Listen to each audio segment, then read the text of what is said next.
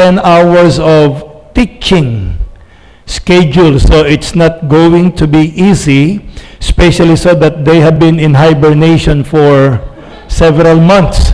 And then all of a sudden, you will go to a, uh, in the heat of the battle.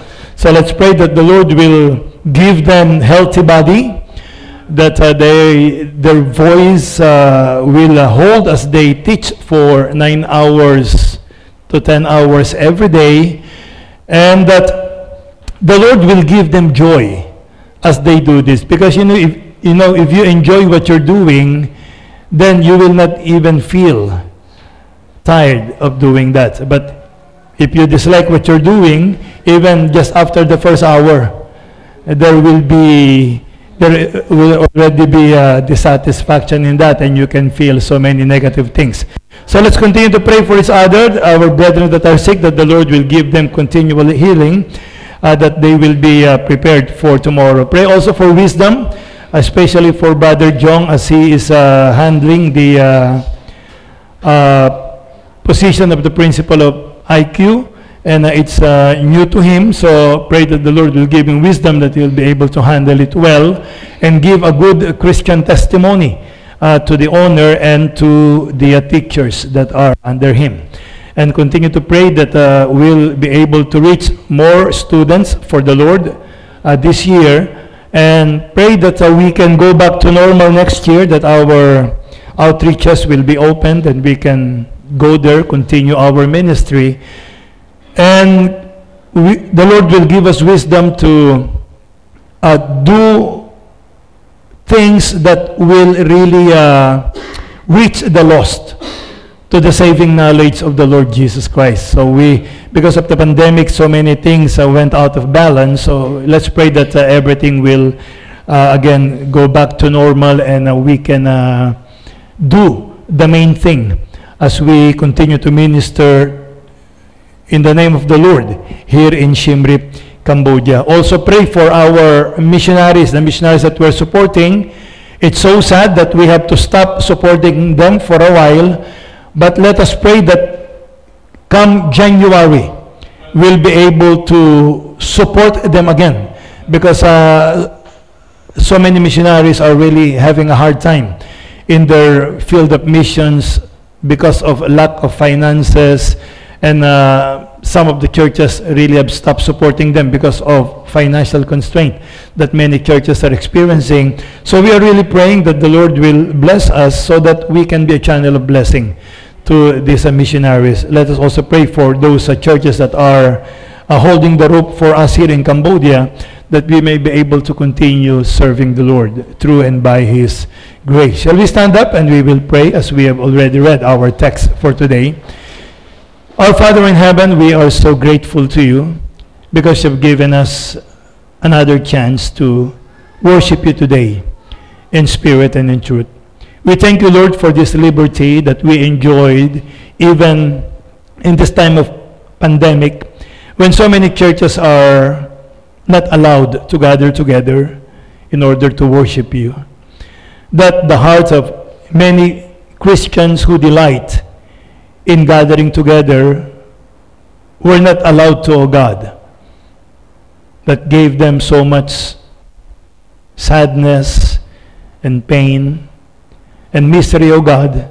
But we thank you for the continuous freedom that you have given us. May we not take it for granted, but may we treasure it, O God, and thank you for giving us this opportunity that in spite of what is happening in the world, we still have this freedom, this liberty to gather together and worship you.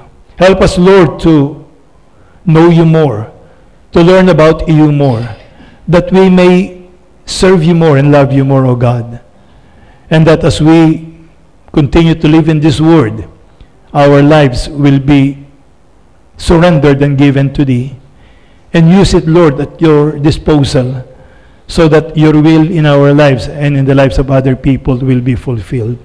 Help us, Lord, not to be deceived by the devil or any of his tactics, O God, that we may swerve from the path uh, that you have prepared for us. But give us wisdom, Lord, that we may be able to move forward and to continue serving you and worshiping you, O God. Bless us, Lord, as we once again look at your word. Help us, Lord, to be blessed by your word. Help me to be a blessing to your people. Give us, Lord, light, wisdom, and understanding that we may not only learn your word, but eventually, Lord, apply them in our lives. We thank you, Lord. We love you. We thank you for loving us first. In Jesus' name I pray. Amen. You may be seated. So we have read a very familiar passage in the Bible in Genesis chapter 3, verses 1 to 6. So we know that this is the, the fall of man. We know that uh, this is something that happened a long, long time ago, more than 6,000 years ago. But it is very current because if you're going to look at everything that happened here, these are the same things that are happening even now in our time. We can see that the tactic that the devil used in the Garden of Eden is the same tactic that he's using in the very lives of the people of God today in order to uh, distract them from serving the Lord, to plant doubt, seed of doubt in, their, in our minds that we may not be able to really put our trust, full trust and confidence in the Lord, in His Word, and in the mighty work of the Holy Spirit in our lives. You see, Satan's work is always to destroy what God is building. Satan's work is to imprison those people whom God have already given freedom and liberty.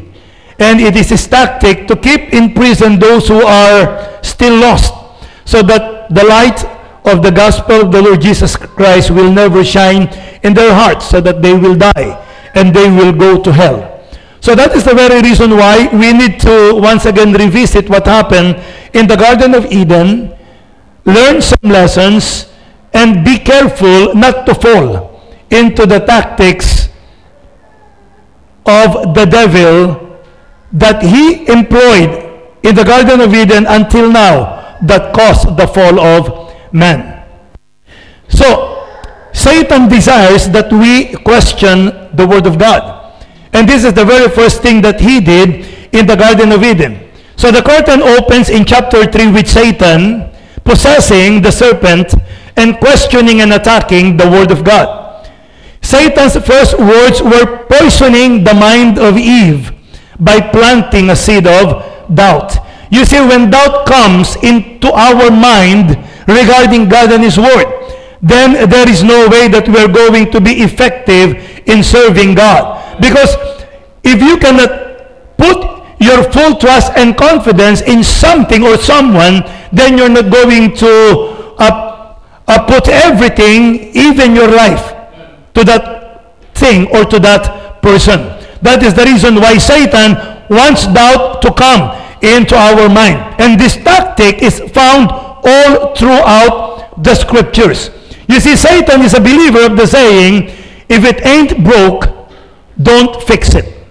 He says it worked before, it is working now, and it will continue to work. That is why I'm doing the same thing. And Satan saying that people are so dumb to fall into the same pit over and over and over again. And we may say, why? Because we're in the flesh. Because the bait that Satan is using is something that entices our flesh. That it is as if it is a gravity that is pulling us into its center and there is nothing that we can do or people can do if they're unsaved. But those that are saved knew that they can do something, but sad to say, our flesh is getting the better of us. So Satan employed this tactic starting in the Garden of Eden until now. And he's not changing his way of temp tempting and enticing man to fall into sin. So, what was the serpent really like before? Because we know the serpent now is a slithering being, uh, crawling uh, through his uh, its uh, belly, and, and, and all of these things. So if, if you will see a serpent, except if you are animal lover or uh, loving exotic uh, animals, you will not even appreciate uh, the serpent. You will even run if you will see one. But the Bible says that the serpent was very subtle or cunning. He may have been very beautiful too during the uh, creation in the Garden of Eden. Because the Hebrew word for serpent is nash, nashas.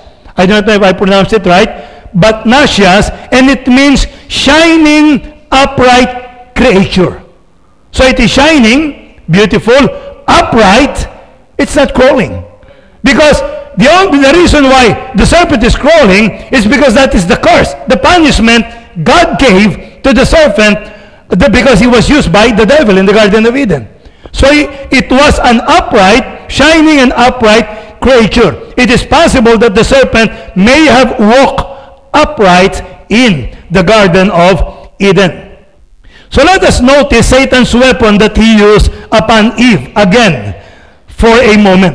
It was the doubting and questioning of the authority and accuracy of God's word. You see, God is perfect.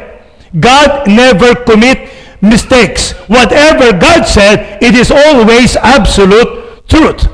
And if the devil can make us doubt the word of God, then everything will fall down. Then the very foundation will be shaken, the, the very foundation will be destroyed, and if that foundation is destroyed, then we cannot effectively build upon it.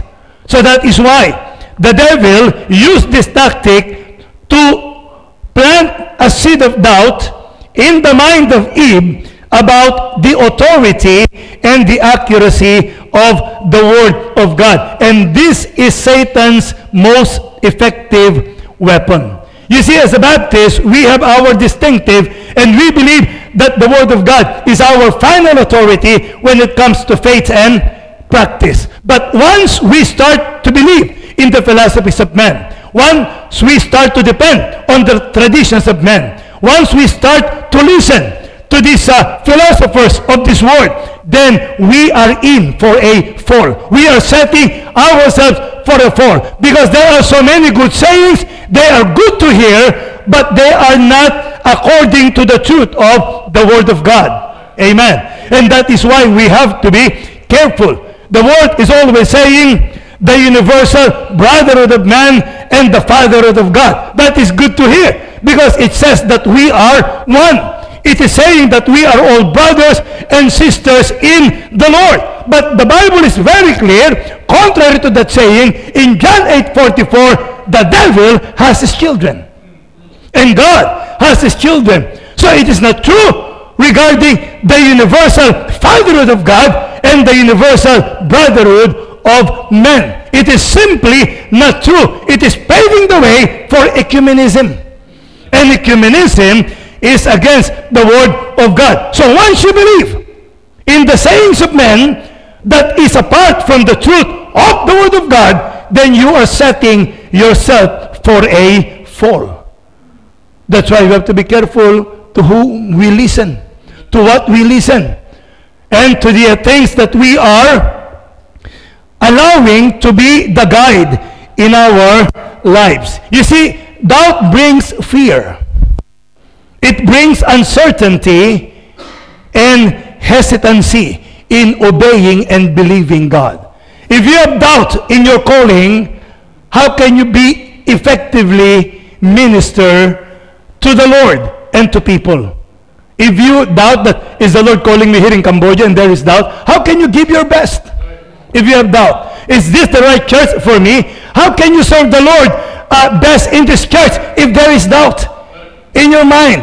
Is, is the Bible really the Word of God? How can you believe the things that the Bible is saying if you have doubt that this is the very Word of God? You see, if you believe that even one word from this Bible may not be true, then every word may be that word. And you cannot just give everything into it because of the doubt that is hovering in our minds. So when we doubt or question God, we have a tendency to take matters into our own hands. And that will really mess things up. Because if you cannot believe the Bible, whom are you going to believe? Then the tendency is to believe yourself or to believe other people.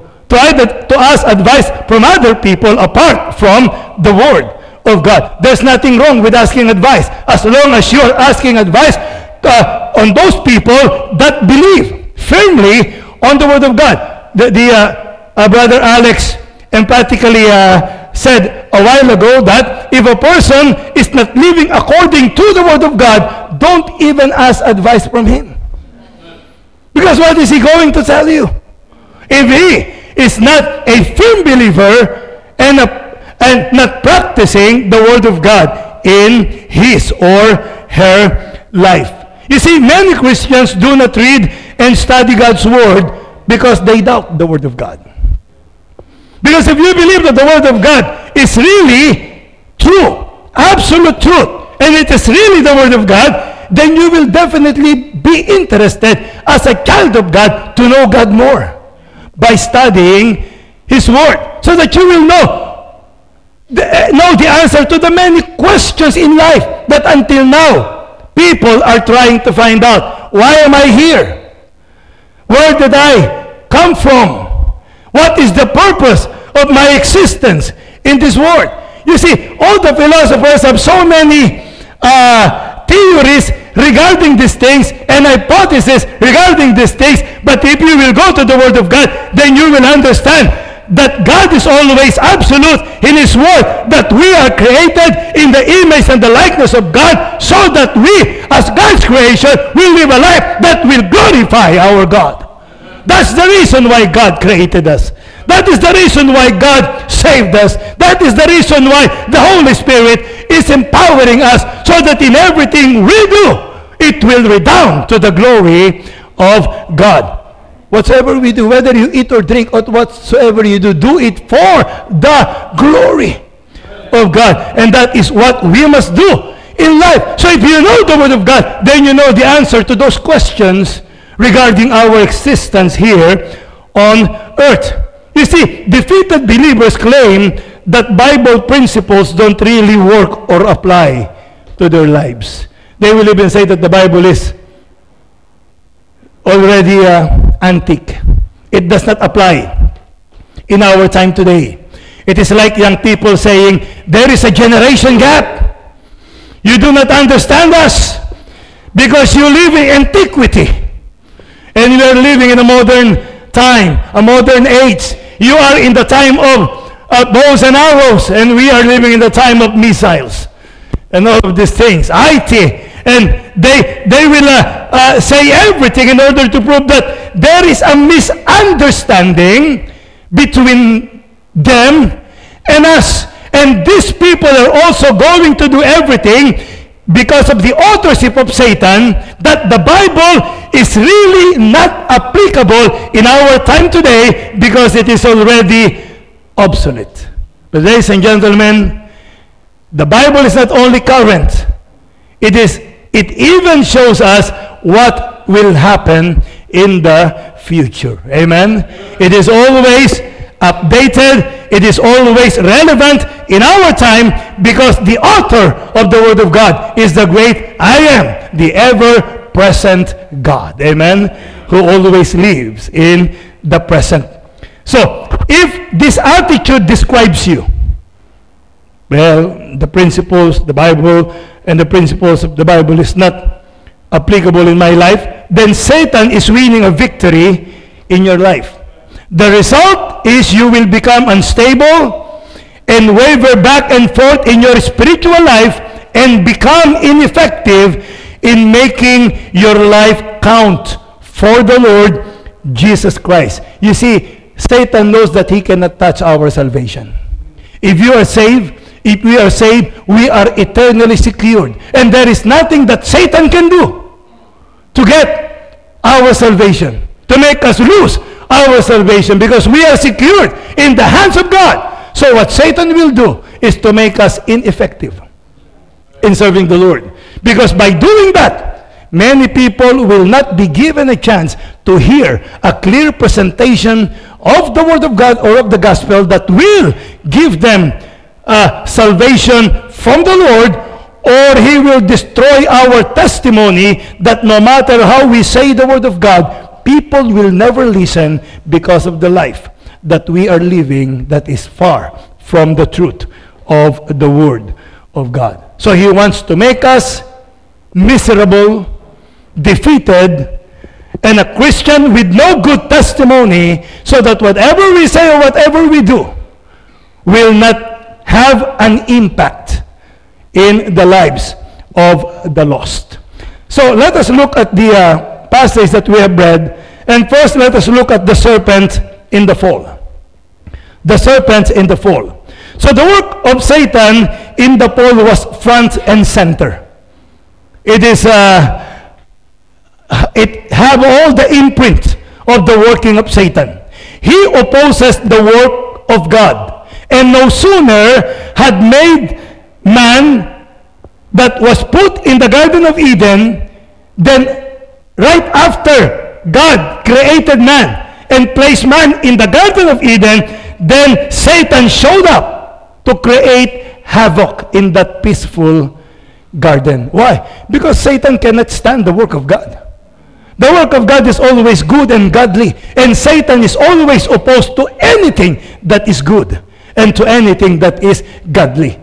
He will always try to destroy the work of God, and if he cannot destroy it, he is going to uh, join it in order to destroy it within, or if he cannot do it, then he is going to make his own copy in order to put doubt in the minds of people that are looking at the working of the Lord. Like the Lord established the church.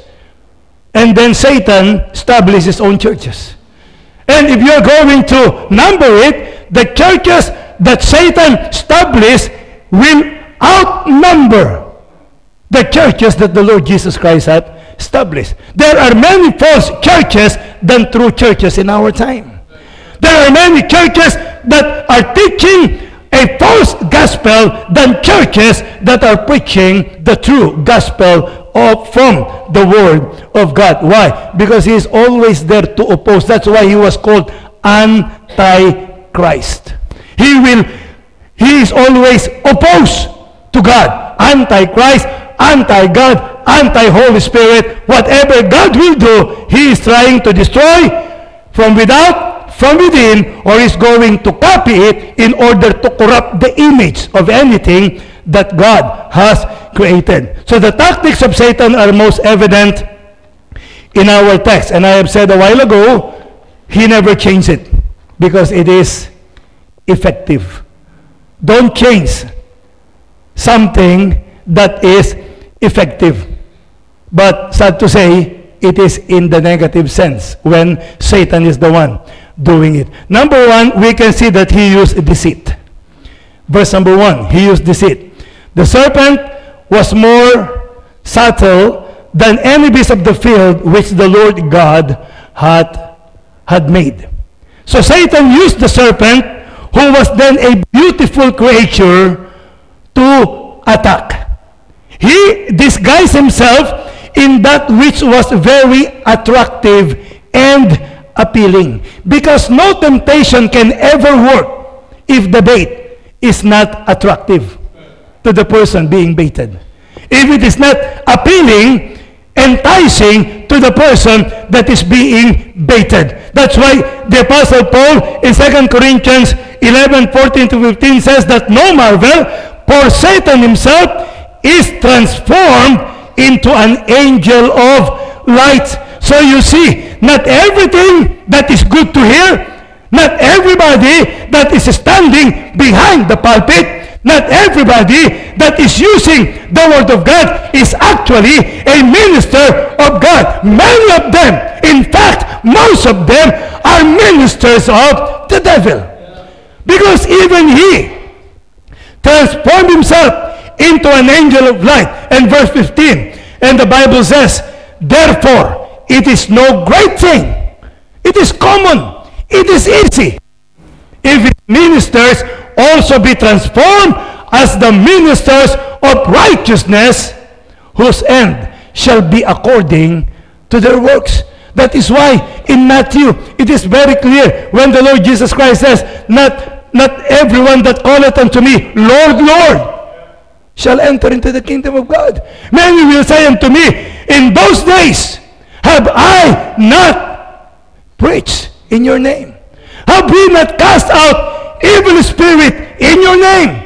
Have we not performed wonderful works, miracles in your name? But Jesus will tell them, I never knew you. Depart from me, ye that work iniquity. You see, the devil knew that we are a very impressionable people. That whenever we see act of righteousness, we're going to fall for it without any hesitation, without any question, without any doubt. And that is the reason why the devil is using that in order to entice us to believe something that is not true. You see, many things that make people for Satan's tactics are those that are appealing, attractive, and enticing, like money. Is money not attractive? Is money not appealing? Is it not enticing? You see, at the sight of money, at the sight of gold, people are ready to abandon everything that is moral in order to amass of this wealth. How many people killed each other for money? How many families were broken because of money? How many cases do we have that involve embezzlement of money? People's lives, people's morality being destroyed because of the shining gold that Satan is brandishing in the sight of the people of God. And he's using it in order to perpetually imprison the lost in this world. That's why the Bible says the love of money is the root of all evil. It's enticing. It is appealing. It is attractive. Not only that, sex. Is sex not enticing?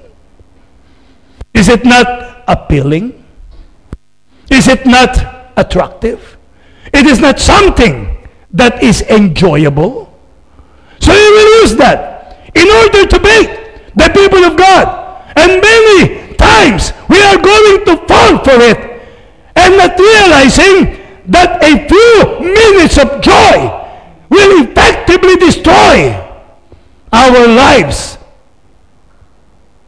in this world as we live. Thank God. If we are saved after this life in heaven, those things will not uh, be remembered anymore. We are not going to do it anymore. But we can destroy what God is doing that is good in our lives if we are going to fall for the temptation of the devil. We thank God because He is a gracious God. And He will give us chance after chance after chance until the time that we will tell God, no, Lord, I, I really do not need the chance because I will continually plunge myself into this hideous thing that the devil is offering me. Popularity. Oh my.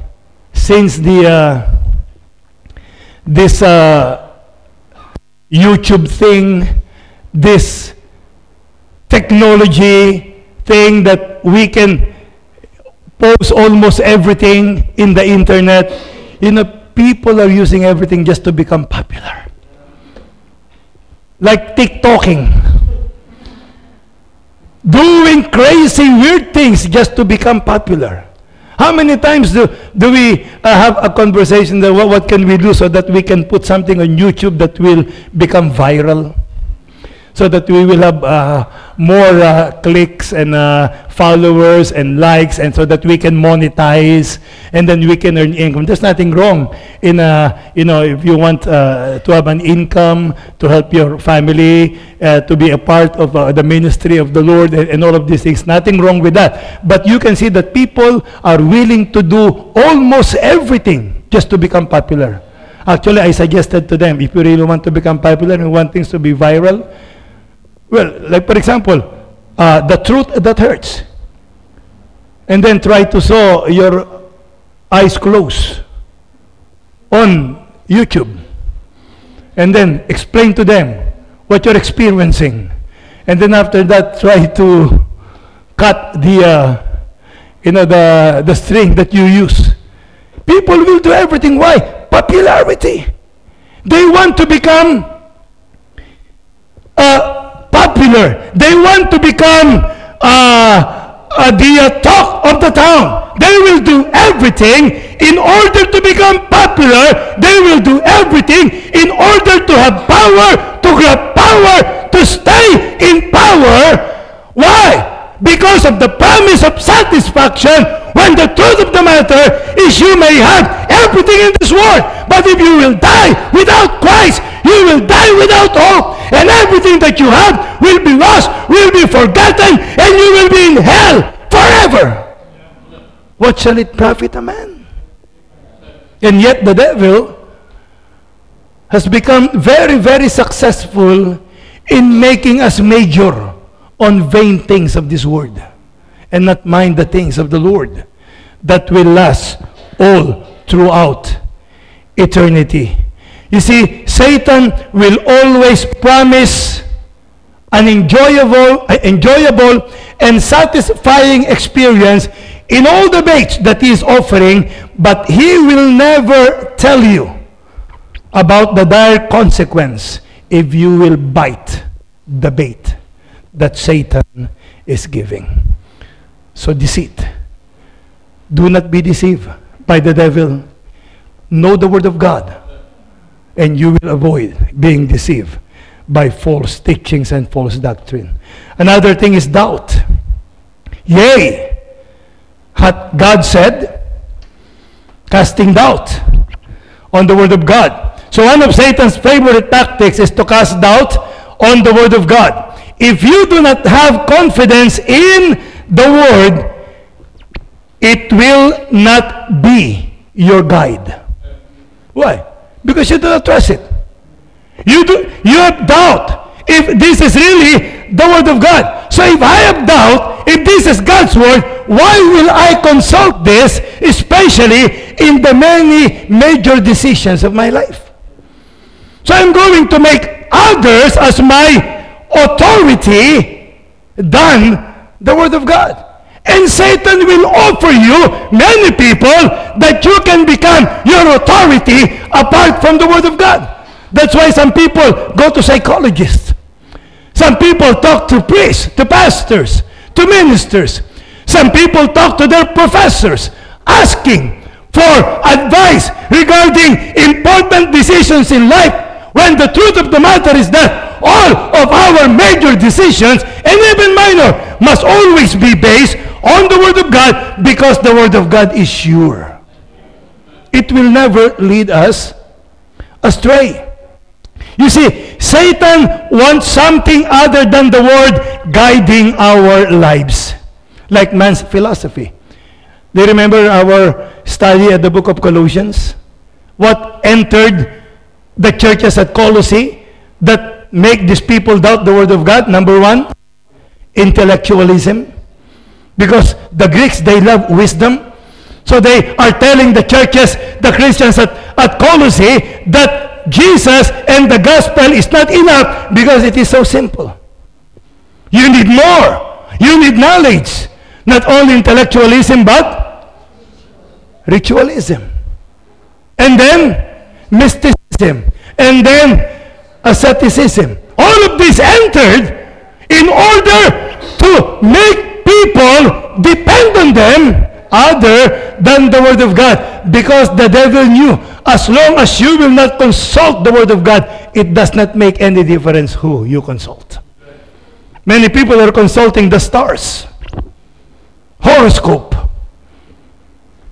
If the stars, the stars is not allowing me to do this thing.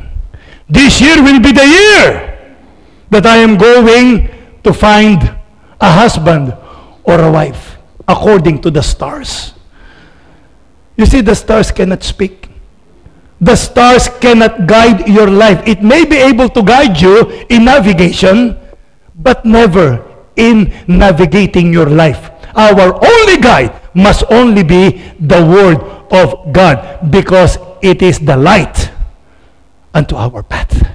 It will show us where to go and where we're going, and it will show us the path of the Lord. So there is the uh, humanistic philosophy, horoscope, superstitious belief, religion, and the wisdom of man. So he gets the word of God removed from our homes, from our school, from our government, and he de-emphasized the word of God in our churches. That is why many churches prided themselves of their programs than the preaching of the word of God. I do not know. There is a popular preacher. I forgot who he is, but he has a post. And he's very popular that he said, in our church, we do not teach doctrine because it gets in the way of evangelism. We do not have any Bible study because it gets in the way of evangelism. We do not teach the Word of God because it gets in the way of evangelism. If you want the Word of God explained to you, then you are a lazy fat Christian and you do not belong in our church because we solely do evangelism in this church. You see, evangelism is good. That is the main thing. That is a very important thing. But to tell people doctrine is not important, to tell people Bible study is not important, to tell people that anything that is associated with God, except from evangelism, is not important, is like putting a bit of poison in the food that you're eating. Remember, a little leaven leaveneth the whole lump. And that is what they're doing. That is what Satan is doing. He will tell you this is good, and he may be right, but he will put a little poison, a little error that will mess everything up if we are not careful. So he removed the word of God in the churches and emphasize programs. That is why churches are priding themselves in the number of their people because this is how we do it. We have our bus routes. We have our uh, Sunday school, bringing Sunday school to the people. We have all of this program. That's why we now have the uh, highest number of attendance compared to any church in the world. Ladies and gentlemen, these are just numbers. What's important in the Lord is our heart that is beating for the glory of God. I'm not saying that we should be small in number, but what's important is that there is quality in our service and our worship in the Lord. And if there is quality, numbers will follow, but in a qualitative way. So that's why we have to be careful and always base everything in the Word of God. So many churches now are busy in fighting social injustice. There is nothing wrong in trying to correct social injustice, but that is not the very reason why the Lord established the church. We are here for spiritual battle, not physical battle. We are here to go into all the world and preach the gospel to every creature. No matter what you do, there will always be poor people in this world. Do you remember when this woman uh, breaks that bottle of spikenard and anoint the feet of the Lord Jesus Christ? And Judas saw it. And he said, if it was sold, it can feed so many poor people. And then the Lord rebuke him and he tell he told him you have the poor always with you but not the Lord Jesus Christ there is a reason why God established the church and there is a purpose why we are here because we are to be the missionary and soul winning station in this world yes we should not contribute to social injustice from time to time we may do something about it, but that is not the main reason why we are here. And if we will make that the main thing, then we totally miss the mark.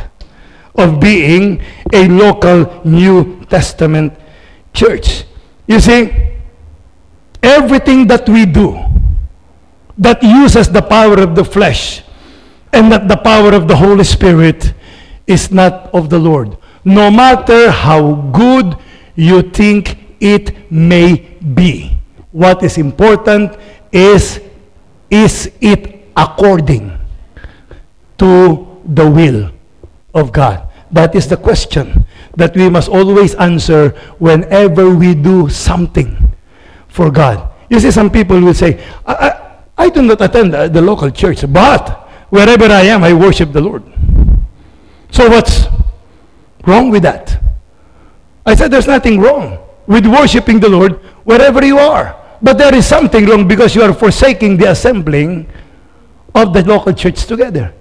And that is something that God wants to happen, and that is something that God wants to see, so that the world will see that we are united in love. And if we are united in love, then the world will believe that we are really the disciples of the Lord Jesus Christ. Amen?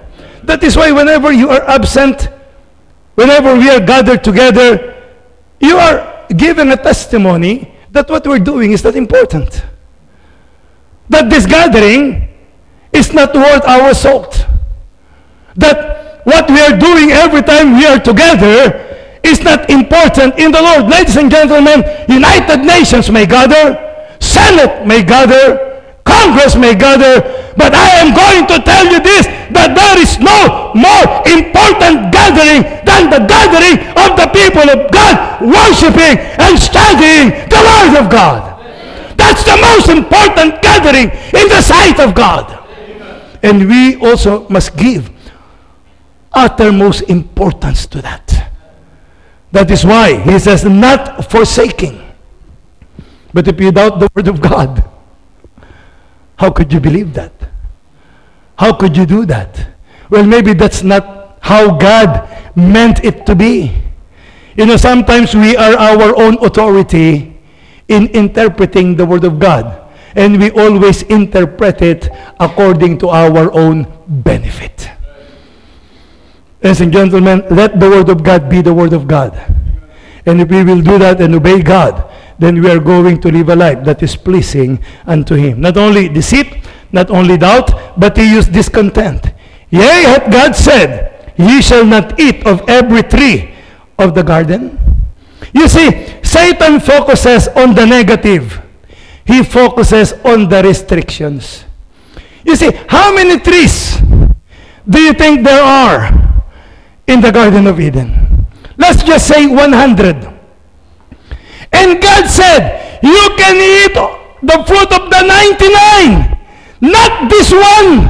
And yet Satan focuses on that one and told Eve that God withholding what will make you happy. And you see, that's our problem. You may put a big blackboard and put a dot, and people will notice the dot and not the whole board. That's our problem. That's why in your life, for 20 years, you have a friend. You do good things to that friend for 19 years, 364 days. And one day, you did something wrong. And it will destroy everything, and he or she will focus on that one day that you did something wrong. That is the flesh. That is our nature. That is the reason why when God saved us, He created a new creature in us so that it should be the one to live and it will live according to the word of God. Amen? Because you cannot fix the old nature. There is no fixing it. It's corrupt. It is depraved. You cannot fix it. There must be a new man. That's why the Bible says, put off, mortify, and then put on. Let the new creature live in us. But discontent, he focuses on the burdens, not the blessings. That's what the devil will do. He will make you look at the burdens and not the blessings that God is giving us.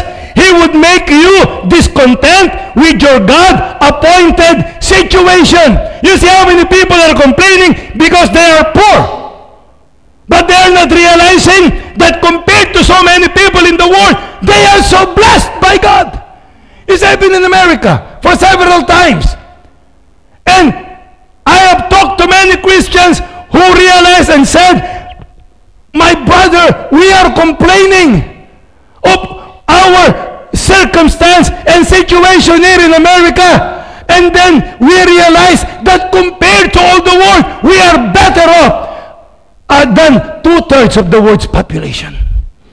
Even though we consider ourselves poor here in America. Why? because you focus on the burdens, not on the blessing. You see, there was a saying, I complain about not having shoes on my feet until I saw a person who have no feet at all. Satan will make you focus on the burden. He will make you discontent with your God-appointed situation. He does not focus on the positives. Why? He does not focus on the privileges because if we will focus on the positive, our faith will grow stronger and we will be more thankful and grateful and loving to God and it will inspire us in loving Him more that will result us in serving God more in our lives. Listen to me. Focus on your salvation. Focus that our name is written in the Lamb's book of life. Focus on our assurance of heaven. Focus on that we are co-heir of the Lord Jesus Christ. Focus in our mansion in heaven. Focus that we are a recipient of God's promise, protection, provision, power, providence, presence, and one day, no matter how hard it is in this world, when we die, we will be in heaven and we will enjoy the presence of God forever. Focus on that. And you will be grateful to the Lord. But we, we complain always. We focus on the negative. And that is what Satan is, is steering us to do. He is steering us to go there. Because a discontent Christian will never be a powerful Christian in serving the Lord. So let us focus. You see, the song encourages us, count your blessings. Name them one by one. Count your blessings and see what the Lord had done. Count your blessings. Name them one by one. Count your many blessings. See what God had done. My brother, you understand what I'm saying? Do not focus on the negative. It will discourage you.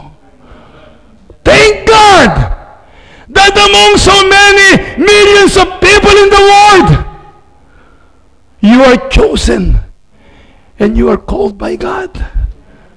Amen. What a privilege. I believe if, if Prime Minister Hun Sen will come here and he will point his finger at, at Liang and said, Liang, I, I want you to do this for me. I want you to be in this position for me. Liang will be very, very proud. But the one who called us and chose us is not the Prime Minister of Cambodia, the King of Kings and the Lord of Lords. Amen. And that should be enough in order for us to serve God and to give this life at the disposal of God. Because one day we are going to be with Him. And while we are waiting for that day, He already promised us that He will never leave us nor forsake us. Then denial. He says, Ye shall not surely die. Satan likes to deny the certainty and practice of divine judgment. Therefore, Satan says that hell is a joke and sin is not punished by God. He says that a loving God will not send a soul in hell. That comes from Satan. God is love. And because God is love, He will not send anybody to hell. You see, when the certainty of punishment is removed, sin will increase. Well, if there is no hell, if there is no payment for my sin, then I will just do whatever I want to do. Because anyway, when I die, that's it. But the Bible is very clear. It is appointed the man wants to die. And after this, the judgment. You see, the perverted emphasis on the love of God to the exclusion of His holiness and judgment encourages denial of judgment upon sin. But ladies and gentlemen, always understand and realize this that God sent His Son to die an agonizing death. A death unknown to all men, to many, many men. The agony that he experienced even before that day, when he agonized in the Garden of Gethsemane, that sweat and blood came out of that of him because of the prospect that he is going to experience on that day, plus the shameful, agonizing death that he experienced on that cross. Why? Because God cannot condone sin. Sin must be punished. And if God allowed His Son to die because of sin, how much more we if we will reject His Son?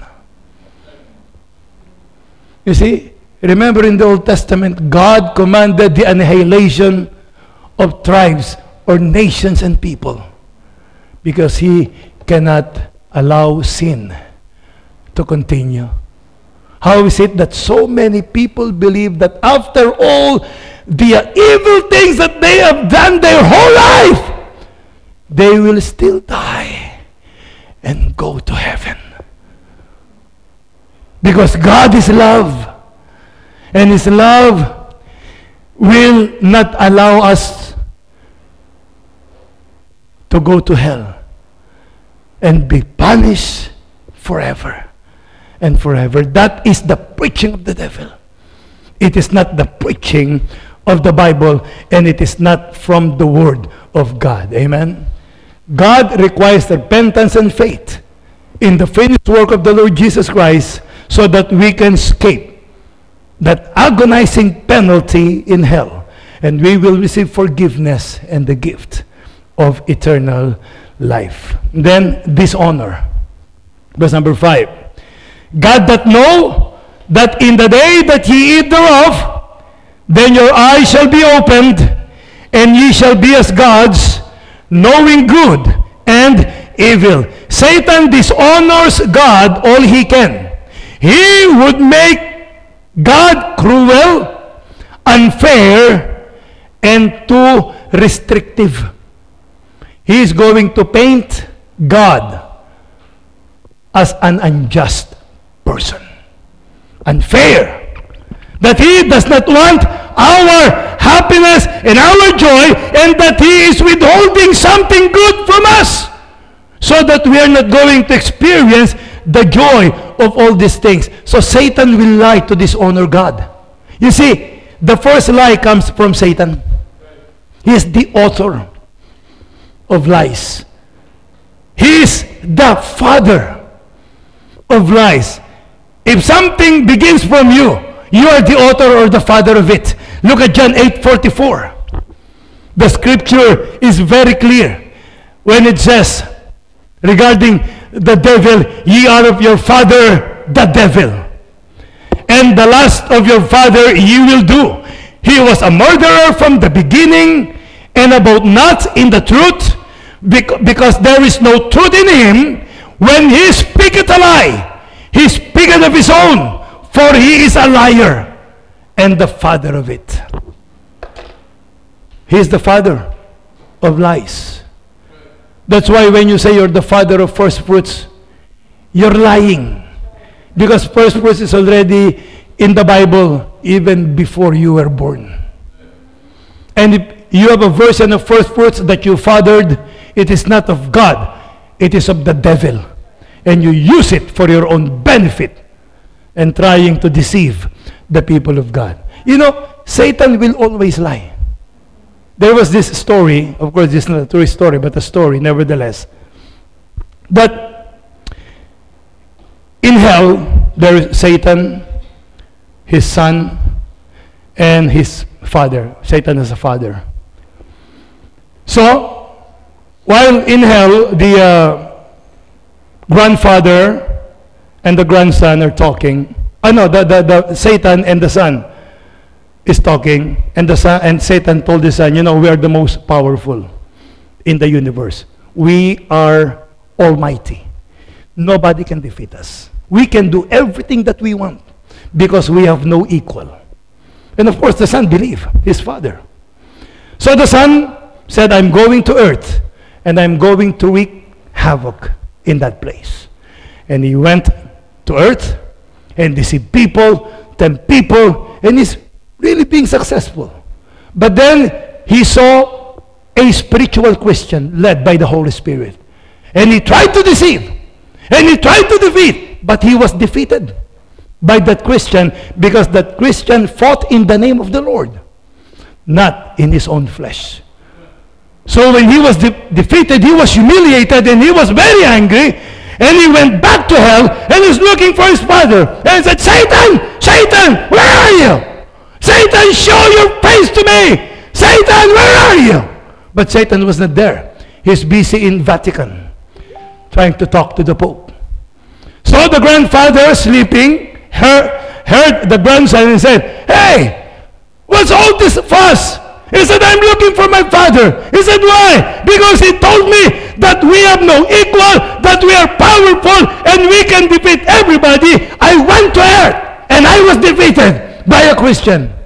Well, you're foolish. Why?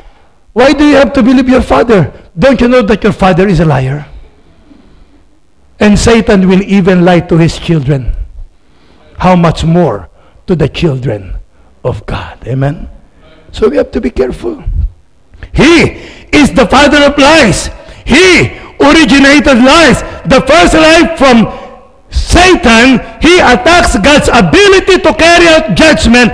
Satan told Eve, Ye shall not surely die. But when Eve disobeyed God and Adam disobeyed God, immediately they died and were separated from God. Amen?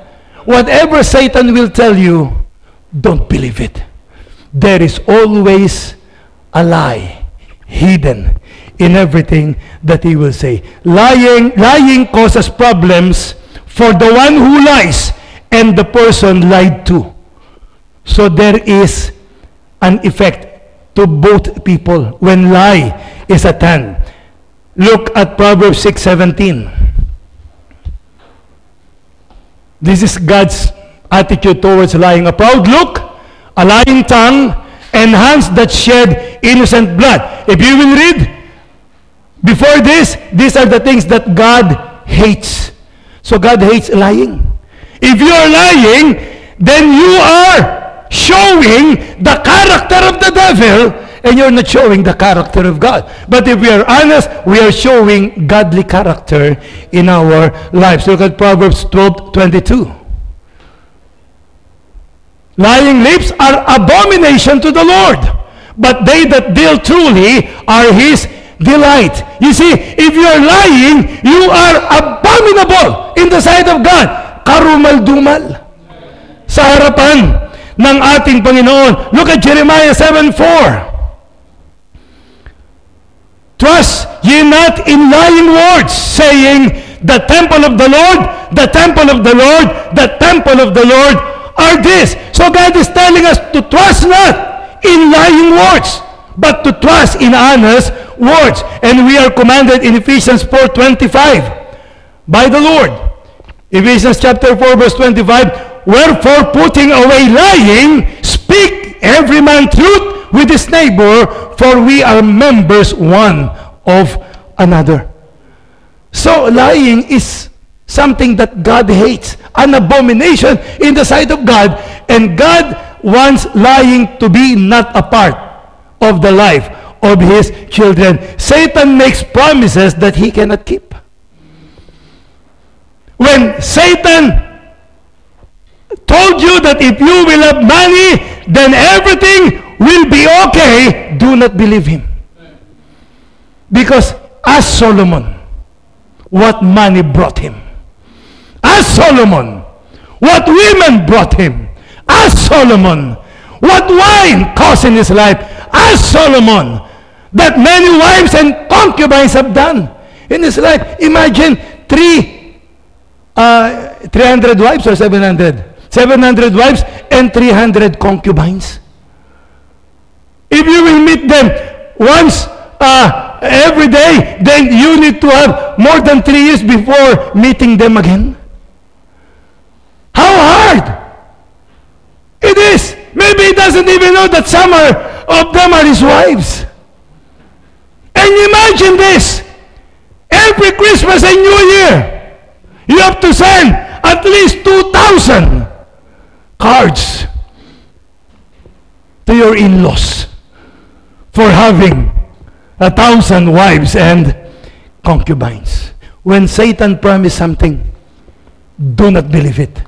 Because Satan is a person who never delivers. He will promise you good things, but you will end up with bad things. He promised that their eyes will be opened and they will be as gods. So their eyes were opened but eventually closed forever in death.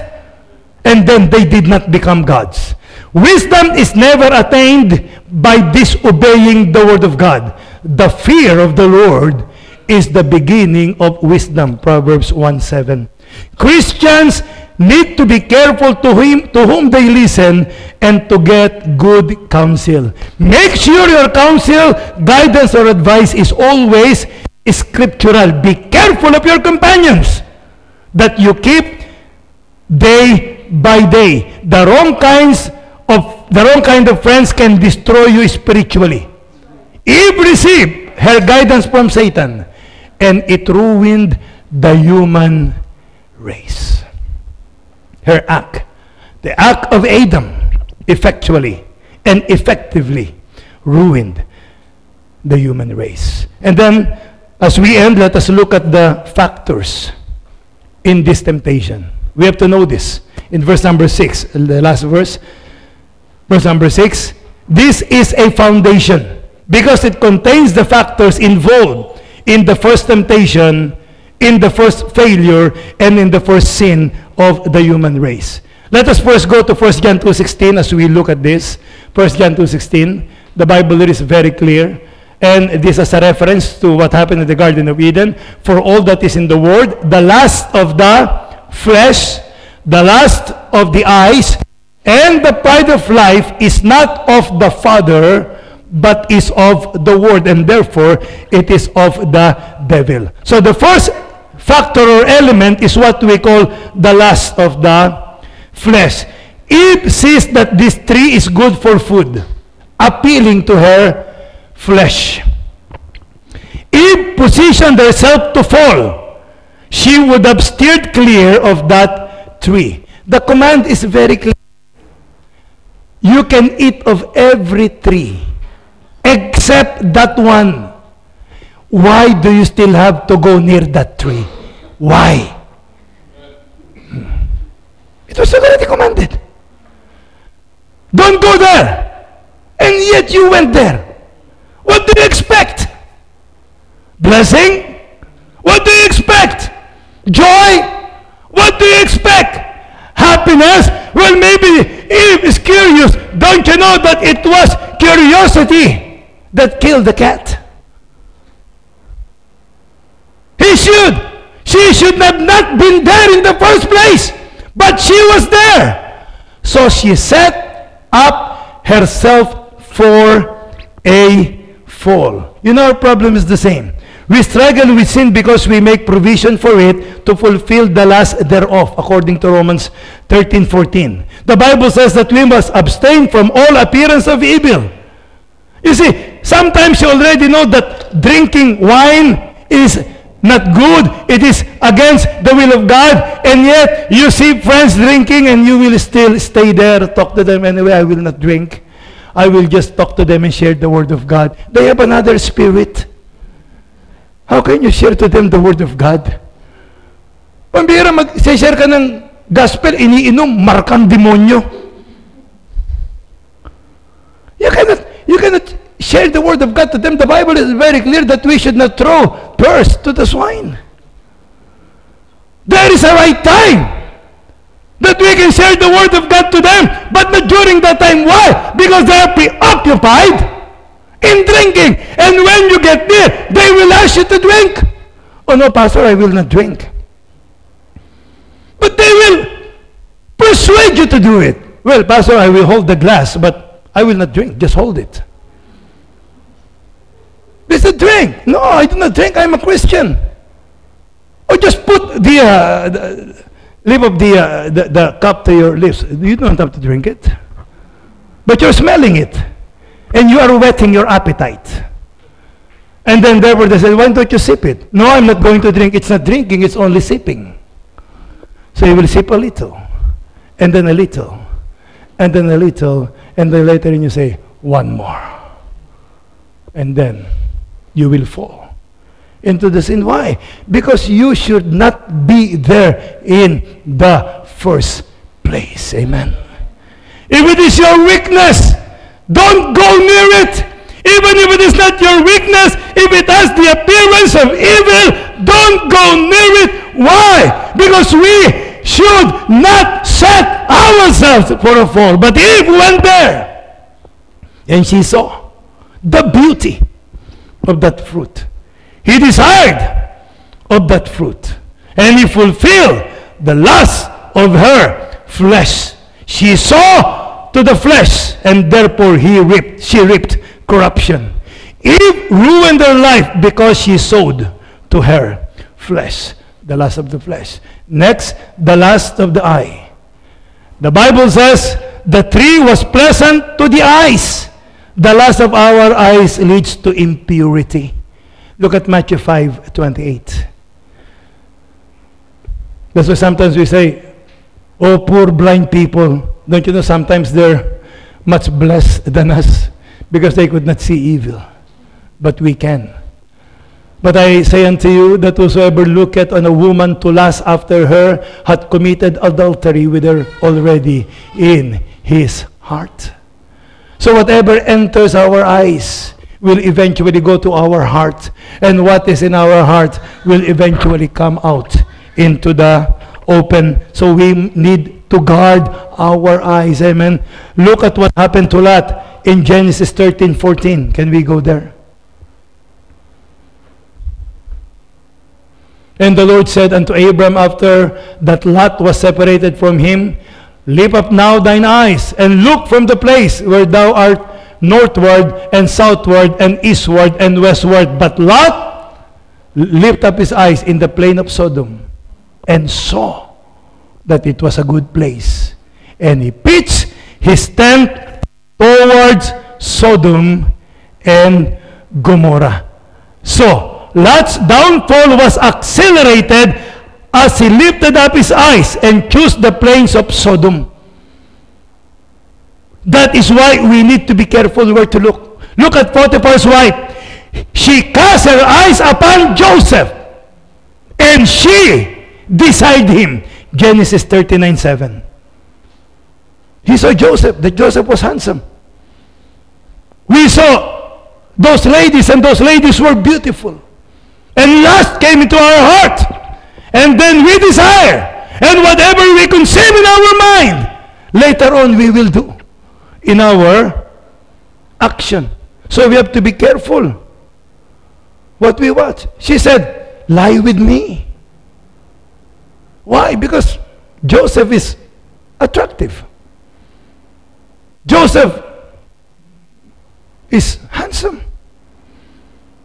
Joseph has a good testimony.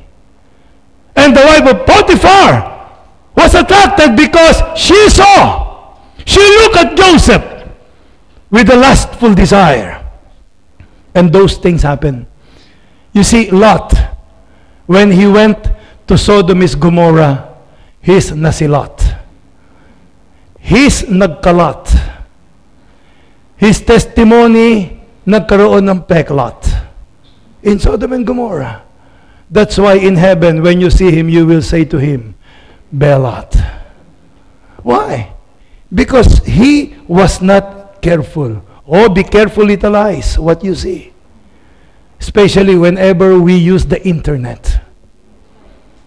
You can easily look at naked people in the internet. You can easily read things that you should not be reading over the internet. That's why we have to be careful what we watch, where we look in using our eyes. And then, the pride of life. Eve desired the tree to make herself wise. You see, it is very foolish to even believe that a fruit can make you wise. That by simply eating that fruit, you're going to become a wise person. She desired to be like God, as Satan did. She appealed to her pride and won. Why? Because Satan fell to his own pride. And Satan is saying, if I fell for it, then everybody will also fall for it. So pride was the sin of the angels of heaven, and pride was the sin that caused the fall of man. You see, the men of the Tower of Babel, they wanted to make them for themselves a name. And their pride corrupted them. In Genesis chapter 11, verse number 4. Ham's pride caused him to brag about seeing his father's nakedness. In Genesis chapter, chapter 9, verse number 22. The pride of Jacob's sons motivated them to destroy Joseph in Genesis 37:20. And the pride of Potiphar's wife compelled her to sexually conquer Joseph, but she failed in Genesis 39:10. Our pride will destroy us and cause us to fail. In Proverbs 16:18. Can we go there, please? Pride goeth before destruction, and an haughty spirit before a fall. Remember James 4 6. God resisted the proud, but giveth grace unto the humble. You see, pride will do you several things. It will make you contempt and reject the Word of God. It will cause contention. It will make you to believe and cheat yourself. And it will make you crazy and wrathful in your life. That's why, ladies and gentlemen, we must be wise in our choices in life. Whatever choices we may face in life, please make this as our authority your job, career, training up your children, living our lives, what to do with our lives, what is the will of God, how are we going to be a mighty part of God's work, how to be a blessing in the church of God. We all have it in here. And let us never doubt the Word of God, but always make the Word of God as the final authority in our life. How can we avoid falling to many temptations in life? We must be saturated by the Word of God. Study the Word of God. Meditate upon it. Understand it. Obey it. And the Word of God will give us wisdom that we need to avoid temptation. For we will learn from the Word of God that in Christ we are already complete. And we do not need the fruit of that tree. We do not need to be satisfied by the lust of the flesh. We do not need to be satisfied by the lust of the eyes. And we do not need to be satisfied by the pride of life because we are complete in Jesus.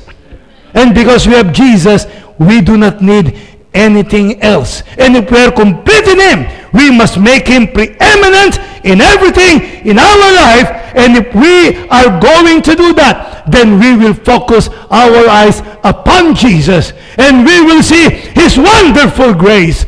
And the things of earth will, will uh, fade away. It will grow dim in the light of His glory and grace instead of looking at the bait that Satan is presenting unto us, let us focus and keep our eyes on the Lord Jesus Christ. He is the author, the finisher of our faith. Shall we stand up, please? Every head's bowed.